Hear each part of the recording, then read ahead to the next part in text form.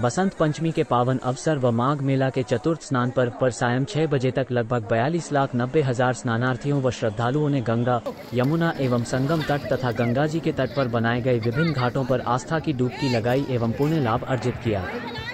मेला प्रशासन के मुताबिक बुधवार को सुबह आठ बजे तक चौदह लाख सत्तर हज़ार, दस बजे तक उन्नीस लाख पचास हज़ार, बारह बजे तक पच्चीस लाख पचास हज़ार दो बजे तक इकतीस लाख, चार बजे तक सैंतीस लाख साठ हज़ार तथा शाम छह बजे तक बयालीस लाख नब्बे हज़ार लोगों ने आस्था की डुबकी लगाई और बसंत पंचमी के पर्व का समापन हुआ। श्रद्धालुओं को किसी भी प्रकार की असुविधा न हो, इसके दृष्टिगत सभी वरिष्ठ अधिकारियों ने भ्रमणशील रहकर सभी आवश्यक व्यवस्थाएँ सुनिश्चित कराई। माघ मेला क्षेत्र में सफ़ाई कर्मियों की पर्याप्त संख्या में ड्यूटी लगाई गई है। मेला क्षेत्र में अपने स्वजनों से बिछड़ने वाले लोगों के लिए खोया पाया केंद्र से लगातार अनाउंस कर उनके स्वजनों से उन्हें मिलाया गया।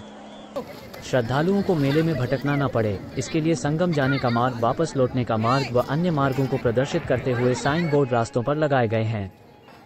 माघ मेला क्षेत्र में सुरक्षा की व्यवस्था चाक चौबंद रही एडीजी जोन भानु भास्कर, मंडलायुक्त विजय विश्वास पंत, पुलिस आयुक्त रमित शर्मा पुलिस महानिरीक्षक प्रेम कुमार गौतम, कुंभ मेलाधिकारी विजय किरण आनंद, पुलिस उप महानिरीक्षक वरिष्ठ पुलिस अधीक्षक माघ मेला डॉक्टर शून्य राजीव नारायण मिश्र, जिलाधिकारी नवनीत सिंह चहल, प्रभारी अधिकारी माघ मेला दयानंद प्रसाद, अपर जिलाधिकारी मेला विवेक चतुर्वेदी सहित अन्य वरिष्ठ पुलिस एवं प्रशासनिक अधिकारी निरंतर भ्रमणशील रहकर व्यवस्थाओं का जायजा लेते रहे।